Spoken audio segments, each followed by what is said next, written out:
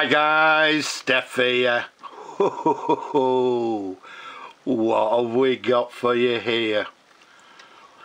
Take a look at that beautiful, handsome fountain pen.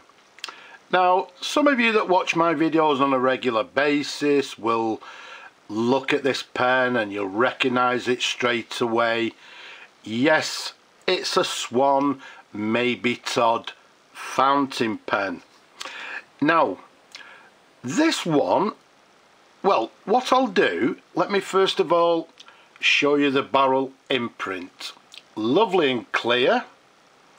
And as you can see there, it says um, Swan leverless fountain pen. Um, underneath it's got the patent, it's got the Swan logo, made in England. So a lovely clear barrel imprint. Now the unusual thing about this pen is that normally on the bottom here you will have the model number imprinted to the bottom of the of the barrel. Unfortunately for well unfortunately or fortunately for some reason it doesn't have one.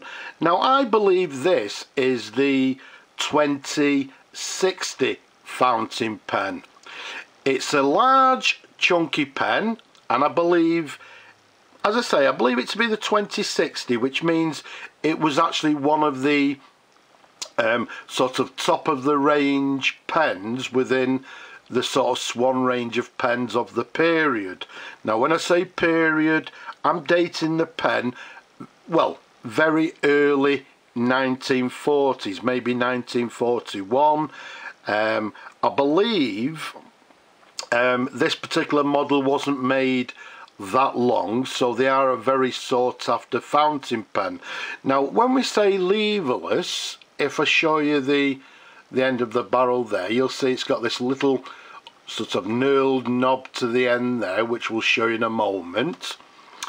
But as I say a lovely large swan fountain pen. When I say large the size of it from the top of the cap to the end of the barrel around about 137 millimeters long. Around the barrel it's a lovely chunky 13 millimeters in diameter. So as you can see it's a lovely large well yeah maybe an oversized fountain pen. A very handsome pen indeed now let's take you up to the cap. You can see the cap there. It's got it's got quite a sort of large band in the middle with these two sort of smaller ones to each side there.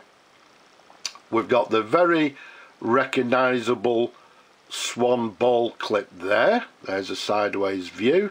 And we can see it's got the swan logo to the very top top of the clip there and to the very top you can see it's got this gold button with a swan again the swan logo to the center there. So once again an absolutely gorgeous pen. Now this is one of two pens that I recently found. I've restored them both put new sacks in them um, so if you're interested what I'll do I'll do another video straight after this one to show you the other one. But all in all as I say um, one of the one of the largest sized pens within the Swan range as I said I'm not 100% sure on the model. So you know if somebody knows any anything sort of slightly different why not leave us a comment and help us out? Now let's undo the cap. As you can see it's got screw on screw off cap. Let's show you the pen in different angles. As you can see absolutely stunning. As I said fully restored. A new large neck sack has been installed. So we're all ready to go to find a lovely new home for this pen. Now let's take you up to this hunk of a nib. so first of all, the section there you can see quite a small section. It's got this slight ridge towards the nib there. Quite a, a small one. But let's show you this nib. What a beauty. As you can see nice and clearly it's a Swan number 6 nib. Absolutely stunning. Now the number 6 nib, as far as I'm aware, it's not the largest nib within the Swan range. I believe there was a number 8 nib, which I've not come across. But the number 6, as you see here, again from Mabie Todd made in England, is a large nib. Now when I say large, um, what I'll do, let me show you this picture here. There you go. So you can see to the left there, that's the nib, the number 6 nib to the left.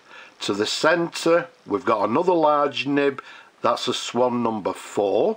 And to the right, for comparison, we've got a Conway Stewart Duro nib.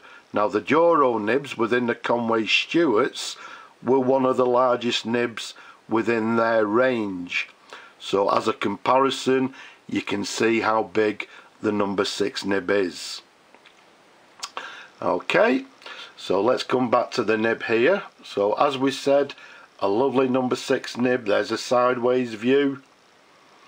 Let's show you the feed underneath. We've got the very recognizable sort of ladder feed. You can see one of the fins there is actually broken off and missing. It does not affect the writing of the pen so don't be con too concerned about that. We've also got if I look over the camera there you go. You can see we've got the word swan written on the feed as well so all in all, a stunning, handsome, large fountain pen with this large nib. Beautiful.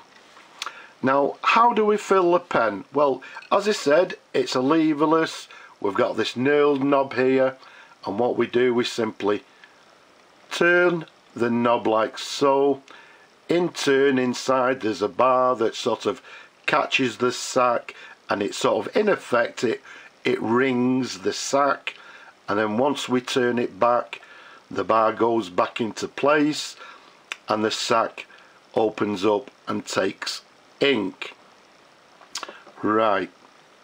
Takes ink. I know you people like to see the pens writing so let's dip the nib in the ink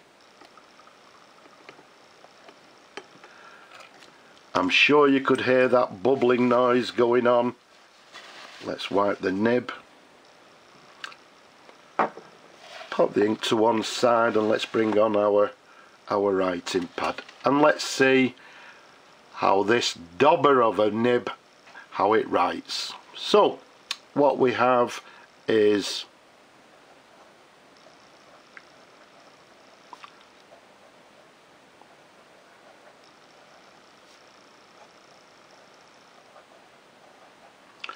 a swan Mabie Todd.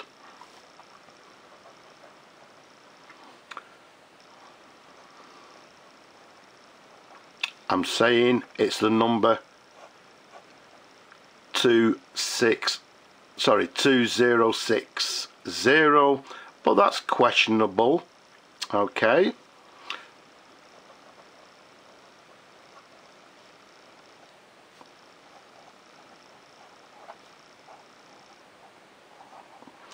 made in England. And as we said earlier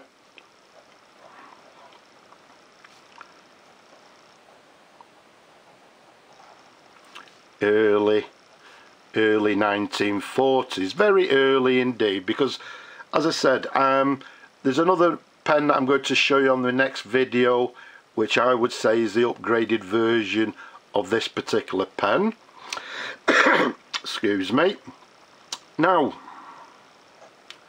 it's writing absolutely lovely as you'd expect from these nibs. Now does it have any flex?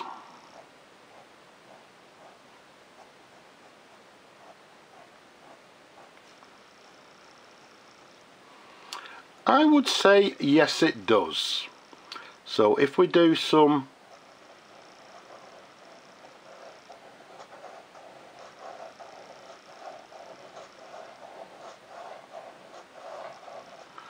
some figure of eights like so. And remember I would say it's writing with a fine line.